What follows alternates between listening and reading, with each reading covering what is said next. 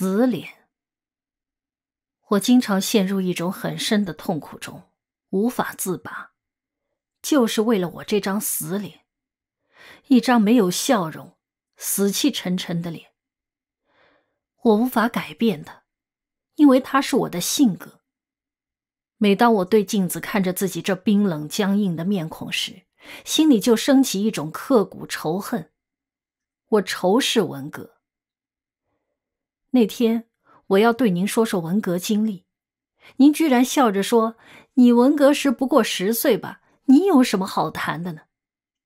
老实说，那天我对您有点冒火。要是在前几年，准会和您大吵一场。当然，今天也不会吵，只是想把我憋在心里二三十年的话，对您说说。文革开始时，我五岁，但我对文革还有印象，而且很清晰、很强烈。我还记得一个人被一帮人压着在街上走，他胸前挂着一个大白牌子，上边写着什么不知道。那时我不认字。这人头上扣着个高帽子，压他的那些人当当敲着锣。他被押到自己的家门口吧。门前放着一张桌子，他被逼着站在桌子上。那帮人不停地挥着拳头喊口号。当时自己做了些什么，早已忘了。至于那时的心里是害怕还是好奇，一点也不记得。但是记得家里人只准我站在门口看，因为我爷爷是资本家，正在挨抄。我是被从幼儿园接出来，紧跟着转移到外公家的。外公在旧社会是高级职员，有股份，被当作资本家的走狗，时时都会大祸临头，家中充满紧张的气氛。但我却感觉不到。我坐在大门口的台阶上，看许多红旗在迎风飘扬，非常漂亮。后来才知道，那是红卫兵起来造反了。过了一段时间，我被接回爷爷家，家里的房子都贴上封条，只留一间给我爸爸妈妈住。爷爷被送到爸爸的一位同学家，这个人很讲义气，把爷爷隐藏起来。爷爷在四十年代开过一家面粉厂和一家焊条厂，很有些钱，招得邻居的嫉妒。据说抄家时，邻居们好像控制不住，一拥而入。发疯一样乱砍乱砸，顷刻间，我家好像中了重磅炸弹。那时候，大人们都注意着他们自己的事。爸爸虽然是教员，因为出身不好，终日提心吊胆。谁也不会想到，整个文革也压在我的身上。我家住的那片地方，穷人多，有钱而挨抄的人家少。我就成了出名的狗崽子，成了同龄的出身好的孩子们攻击的对象。走在街上，会不知从哪里飞来一阵石块；待在家里，也会忽然响起一阵凶猛的砸门声，跟着一阵哄笑。狗崽子之类的呼喊整天响在耳边。他们还在我家的门板和外墙上用粉笔写满“打倒资本家狗崽子某某某”的标语。某某某就是我的名字。我那时真觉得自己是整个世界的敌人。我天天躲在家里，不敢出门。一次，父亲叫我去买香烟，我坐在那里不动，直到父亲发火，才硬着头皮出去。买了烟回家的路上，被邻居的孩子们发现，他们把我拉到墙角批斗我，两个人使劲架着我的胳膊，还把我的脑袋往下按。朝我喊着口号，还往我脸上啐唾沫，直到一个过路的大人喊了一嗓子，他们才跑散。我回到家，本来要把一肚子委屈告诉爸爸，一看爸爸因为我迟迟归来而满脸责怪的神气，我便把肚子里的话憋住了，并暗暗发誓，我再受什么苦也不会告诉他的。很快。我七岁了，上了学，成了学生，但同时又成为班上唯一的狗崽子。我不愿意上学，我最怕上学和下学那一段路，在路上我随时随地会受到屈辱，我又成了同学们的攻击对象、恶作剧的对象，有时干脆是一种玩物。每到上课时，我总希望老师在我身边多站一站，因为老师一走远，威胁便会出现。身边或身后的同学会拿铅笔头狠狠扎我一下。有一次，邻座一个同学面对老师，神气像在听课，桌子下边却用手使劲掐我的腿。我只要向老师告他，他就会说我陷害，说我是阶级报复。那时的政治用语有着强大的威力，我只能忍着，同时我也忍着眼泪。因为我心里已经有一种反抗的东西，我懂得，眼泪只是输的表现。我的内心已经灌满仇恨，恨邻居的孩子，恨同学，恨他们的家长。我实在克制不了时，就和他们对打，但吃亏的总是我。老师自然要偏向那些出身好的同学。爸爸只要知道我和他们打架，还要再狠打我一顿。爸爸怕我惹祸，但是我有逆反心理。只要他们欺负我，我就和他们死拼，常常是打得鼻青脸肿。回到家，谁问也不说。当时同学们合唱一支很有名的歌，《文化大革命就是好》，你一定知道。我暗中把歌词改了。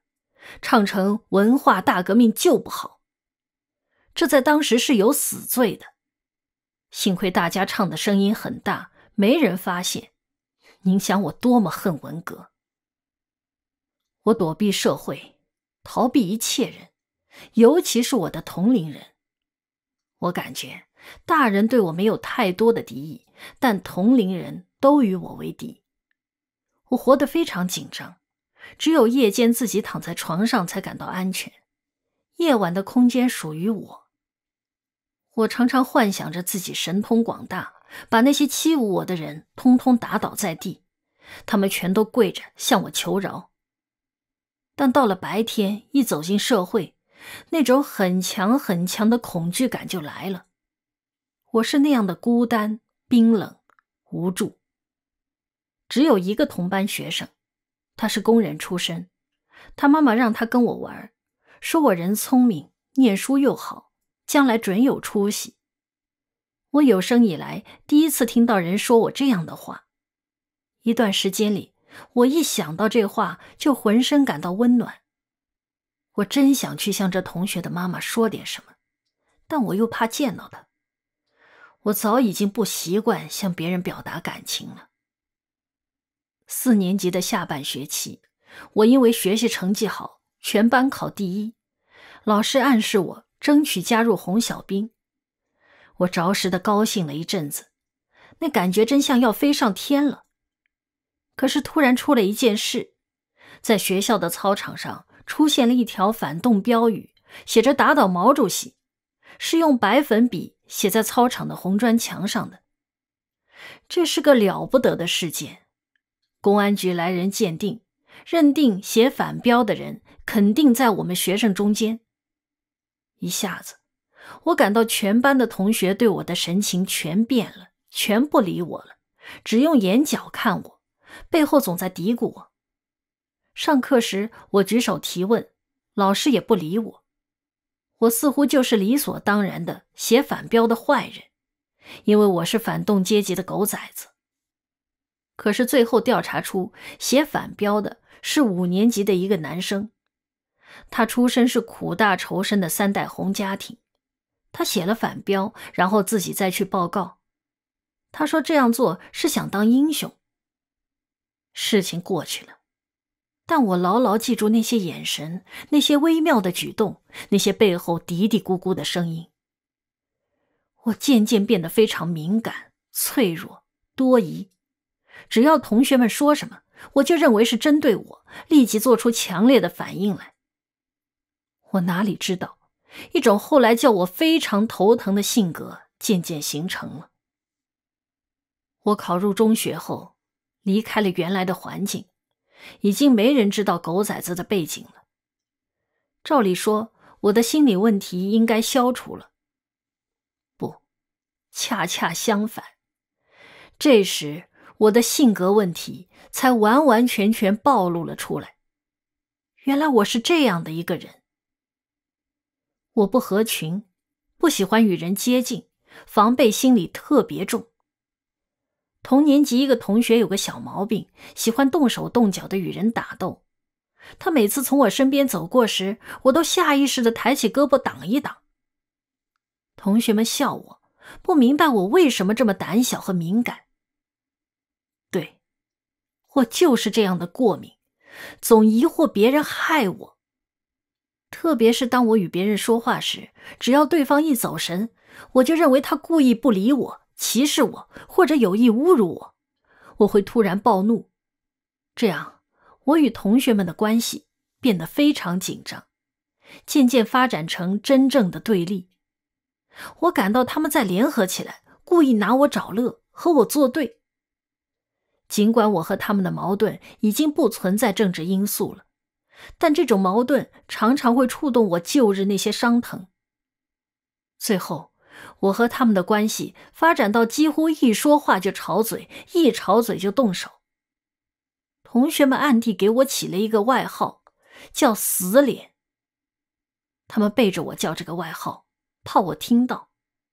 可是当我听到了这个纯属侮辱性的外号时，却没有发怒，而是陷入很深的痛苦。我面对镜子看自己的脸，差点把镜子砸了。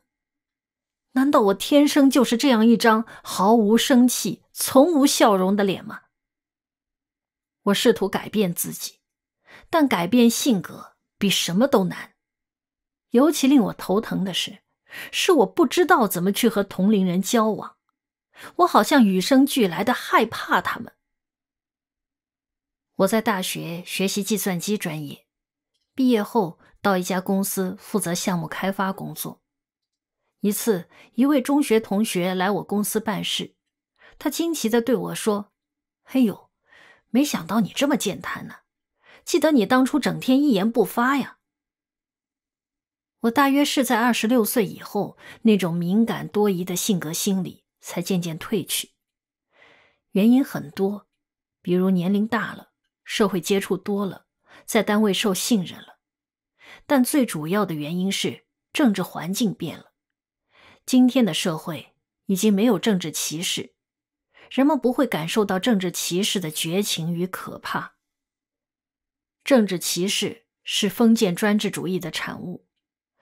记得我看过一本杂志，上边说古时候人民是跪着喊万岁，文革时人民是站着喊万岁。这话说的既形象又深刻。五四时代反封建，提倡新文化。但文革把封建腐朽的文化又折腾出来了，什么忠君啊、文字狱啊、愚民政策啊、个人迷信啊、血统论呢，不都是封建社会那套吗？但封建这东西，单是上边搞是搞不成的，它需要下边配合。您不认为中国的土壤是封建主义的？尽管我也相信文革很难重演，但就我个人的体验来说，文革不会重演，只是因为没人肯当导演。但中国不缺乏文革演员，因为文革时所有人都上了舞台。如果都是受害者，哪来那么大的悲剧啊？一天中午饭后，大家在单位办公室闲聊。当谈到当前社会人们的唯利是图时，一位同事说道：“现在真不像话，就欠发动一次文化大革命，好好整治整治。”我一听，立刻火了，对他大吵大叫，怒不可遏，差点没有动手。我的同事都很奇怪，因为我平时斯文随和，很讲礼貌，为何变成一头发狂的牛？由此我才知道，我那根敏感脆弱的神经依然存在，只不过埋藏的很深。这次又触到了，但这样发作一次也好，会使我今后百倍留意、克制自己，使自己真正诀别那个时代。人的本性啊，其实一半以上是来自后天的。唯一没有贴封条的嘴巴。我有句话，你可别不高兴。不高兴我也得说，我这个人呢，有话就得说。你的一百个人的十年，我看过一些篇章，苦兮兮的。我是从那时过来的人。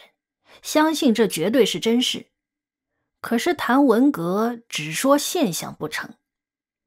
文革已经成了历史，现在再谈文革，不能像诉苦会上的发言，得刨根问底，追个究竟。过去谈这些有点犯忌，现在既然已经是历史，就任由人们评说了。有人说，由于四人帮作乱，才闹出文革。或是因为毛主席犯了错误，我认为啊，这么说依然是就事论事。我认为文革是中国历史的一个必然。如果不是这个四人帮，还有另一个什么帮？如果不是毛主席发动，还会有个赵主席、钱主席、孙主席来发动文革。中国这块土地上，不出法国大革命，也不出拿破仑。就出文革，你从秦始皇焚书坑儒，一直看到文革迫害知识分子；你从历史的文字狱，一直看到文革中的相互揭发反革命言论。中国这几千年啊，哎呀，一脉相承，顺理成章的搞出个文革。如果不搞文革，反倒怪呢。也别什么事都怪文革，一个巴掌拍不响。文革时，我挨整倒霉，也是我自己的一个必然。两个必然合在一起，就是你现在面对的一个小人物的命运。我这必然是有话就说，有话就得说，尤其是碰到抱打不平的事。当年反右的时候啊，我在 HB 大学上学，人家都说我这人嘴巴贴不上封条。同班一个男生，十九岁。三代贫农出身，就是因为给校领导提了几条意见，好呀，捅马蜂窝了，说他攻击党，打成右派。我当时十八岁，在二百人参加的大会上，我一个人站出来为他打抱不平。我说，他爹是党支书，三代苦出身，没有党就没有他，他怎么会反对党啊？我一连十多次为他辩论。驳的那伙人张口结舌，人家都说这丫头太冲了。于是最后给做的结论是：赤膊上阵为右派分子翻案，内定中右。可是定为中右这事，我并不知道。文革起来时，我没事。我那时在某某中学做语文教师，只是有一些学生给我贴了大字报，这好像下雨时走在街上。谁肩膀上不落几个雨点呢？当时社会上抄资本家正凶，我看得气不平。那个有话就得说的毛病又犯了，便对一些老师说：“凭什么抄人家？宪法保护公民的财产，资产阶级在国旗上还是一个星星呢，除非把那颗星星去掉。”这句话不知叫谁告发了。好啊。滔天大罪呀！污蔑红卫兵运动，为资本家鸣不平，攻击文化大革命，一个地地道道的现行反革命啊！关进牛棚。再查档案，五七年反右时还是个中右，原来还是个隐藏很深的右派分子，罪加一等。据说档案上记录我的反动言论可多了。比如档案上有一条说，一九五八年大炼钢铁时，我到处散布大炼钢铁，把住家的大铁门拆下来炼成豆腐渣，这真叫我毛骨悚然呢。我平时随随便便说的话，怎么全在档案里？难道我背后总跟着一个隐身人，专门记录我的言论？这样我就成了一贯反动的大家伙。靠着谣言诽谤，靠着背后议论，靠着告密的内容来塑造一个人，这是不是中国的一个悲哀？当然，我不应该怪别人，应该怪我的性格，还有我的嘴。我不是说过吗？我也是一个鄙人。等我被关进牛棚，不准再见我三岁的女儿时，我真想用封条把自己的嘴给封上。你想听听牛棚里的事吗？都说我们学校红卫兵的凶狠是出名的，其实不是凶狠，而是残忍。什么叫做残忍？我在文革时才弄明白，残忍就是想方设法。充满创意的迫害人，绝不只是用力气打。比方叫你解开腰带，将几十条毛毛虫放进裤子里，再叫你把腰带扎上，这滋味你受过吗？比方用塑料眼药瓶吸凉水往耳朵里灌，直灌满耳朵眼儿，这刑罚你受过吗？一个姓 K 的数学老师啊，至今还闹中耳炎，就是那时凉水灌耳朵。留下的病根。再比方，三九天叫你脱下衣服，只留背心裤衩站在五楼窗台上冻着，弄不好啊，一头栽下去。你在哪里听过有这样的刑罚呀？当然，这残忍的行为中啊，还带着学生们恶作剧的成分。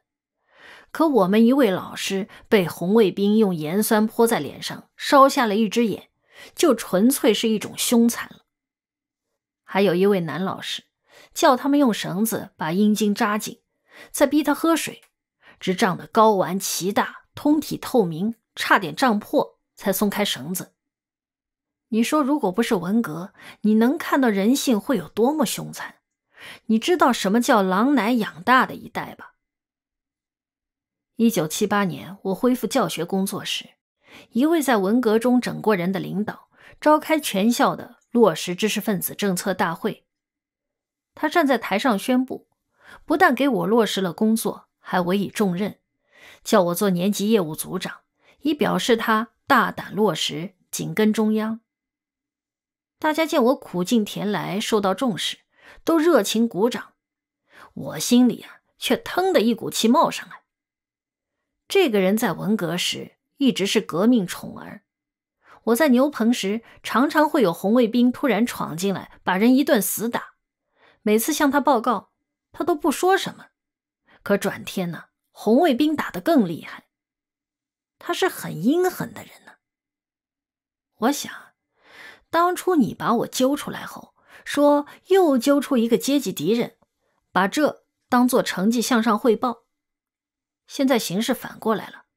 你又把我落实政策当做一个资本，无论怎么样，你们都是正确的。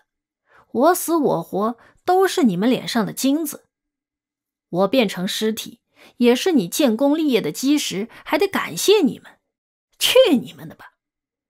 我站在那里一动不动，也没有表情，用眼冷冷的瞅着他。我没开口骂他，就算客气了。现在我则想。应该起诉他们，叫这些人赔偿精神损失。我在文革有一句名言，叫做“做奴隶不做奴才”。当然，这句名言是对我自己而言，是一句座右铭。先说做奴隶，做奴隶是被迫的。我刚被关进牛棚的时候，经常给弄到街上游斗，啊。就是用游行的方式批斗，胸前挂个大牌子，用黑笔写上我的姓名，再用红笔插个大时叉。左右两排手持木枪押解我的红卫兵，一边走一边喊打倒我的口号。有时还在旅店门前停住，招呼住店的外地人出来逗我。刚开始我很怕给熟人看见，怕难看。后来没有这种担心了，我就像奴隶时代的奴隶。奴隶的工作是两种，一种是劳役，一种好比马戏的猴子供人玩耍。反抗是无效的，只有听之任之，但我绝不做奴才。有一件事给我很深刻的认识：我们在牛棚里挨打，多是在半夜里，红卫兵们突然开门闯入，不准开灯，他们举着火把，想打谁就用布袋往谁的头上一罩再打，或者是在背后打耳光，这样打可以使我们看不见是谁打的。因而常常打得双耳发懵，眼冒金星。我就想了，你们这样打，无非是怕我们看见是谁打的。你们还不如法西斯呢。法西斯是面对面打人的，你们啊是偷偷摸摸、藏头藏脸。理直则气壮，理亏则胆虚。你们口号喊破了天，打起人来。原来也有伤天害理之感。从此，我对这些搞运动的人抱着一种很强很强的看不起的心理。我被迫做奴隶，挨打受骂，劳动改造，我还被下放到农村干过八年农活呢。但我绝不会逢迎献媚、讨好、告密、出卖别人。我不当奴才，被屈辱不可耻。但奴才是可耻的。我有时很奇怪，为什么直到今天，我们喊着叫着现代化，可是包公却一直没倒，济世救世，为民做主，威风十足，人们居然还这么喜欢包公。有谁想过，包青天愈多，说明法治愈不健全，中国愈没希望？你是作家。我对你们文艺界啊，真是搞不明白。那些腐朽的、封建的、跟现代化顶牛的东西，你们为什么起劲的宣传？比如王宝钏那出戏的观念，绝对不能叫人容忍。薛平贵在外边娶老婆，酒色财气一样不缺，王宝钏却孤零零守着寒窑，一守就是十八年。薛平贵回来。还要考察他这十八年是否贞洁烈女，残酷不残酷？中国人总欣赏这种东西，还有希望吗？我更不明白，你们怎么对皇上兴趣那么大？看看你们的电视剧吧，秦始皇、汉高祖、唐太宗、宋太祖，单说清代的皇帝，从康熙、雍正。乾隆到道光、咸丰、光绪、宣统，全成了被美化的光辉形象。甚至皇上爱谁，谁就成了荧屏上头号的女主角。这不又回到了封建时代了？都说中国的文化神秘，我看呢，最神秘的还是宫闱秘闻。小百姓历来对皇上们的生活充满好奇。缘故是历代皇上。无不把自己放在神坛上，借神权壮权威。事情的另一面，便是百姓们把自己放在拜神的位置上，这不正是一种封建的精神奴役吗？人们为什么还美滋滋的带着这种精神枷锁？我们这些老戏呀，真是没法与莎士比亚相比。我同意一种看法：我们至今没有进入人文主义阶段。还是滑行在衣食父母的惯性里。说到这里啊，我已经不想说我自己那些具体的经历了。我的个人遭遇，我的苦乐悲欢，也许远不如你写过的那些人经受的惨烈。我最想说的是那些思想的触动与精神的感受。即使在农村平凡的劳动中，我常常也会被触动。比方过去总爱说我们知识分子肩不能挑，手不能提。最典型、最生动、最有说服力的一句话是“韭菜麦苗不分”，由此说明了知识分子必须接受工农的改造。我们当时啊，对这句话真是幸福的五体投地，深信念书把自己变成了废人。可是当我被赶到农村，在地里一转。马上就发现自己更愚蠢。这愚蠢呢，不是因为自己对农业的无知，而是把这样简单的一加一等于二的常识，居然还当成真理。谁不知道韭菜一齐齐，麦苗一片片？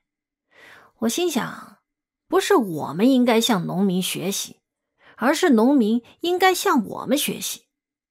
不是我们接受改造，而是要用知识改造农业，改造农民，把大老粗改造成大老细。这几十年呢，我们听的最多的一个词汇就是革命。我们搞了几十年革命。也被革了几十年命，但革命是什么？革命的目的是什么？不就是改革生产关系和解放生产力吗？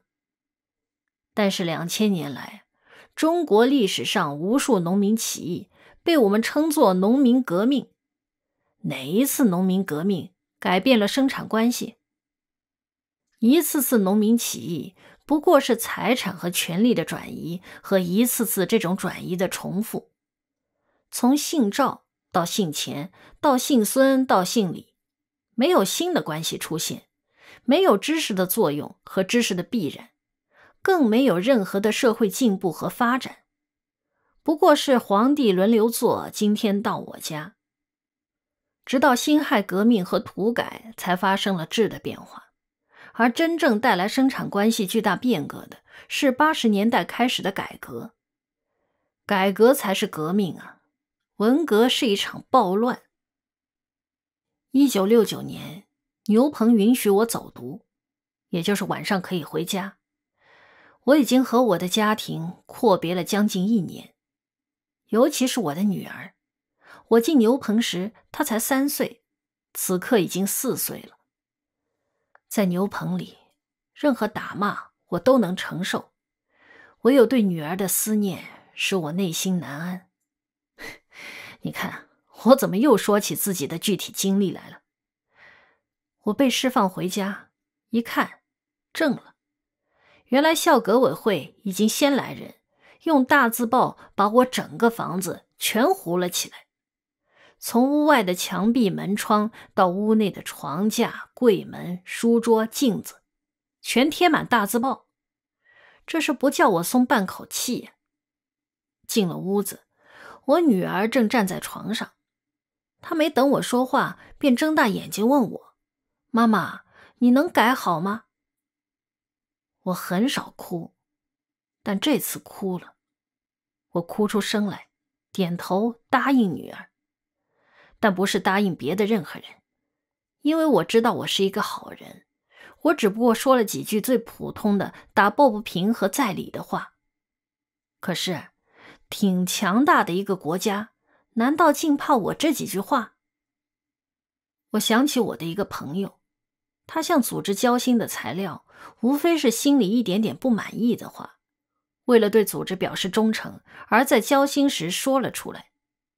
文革时便成了他的反动言论。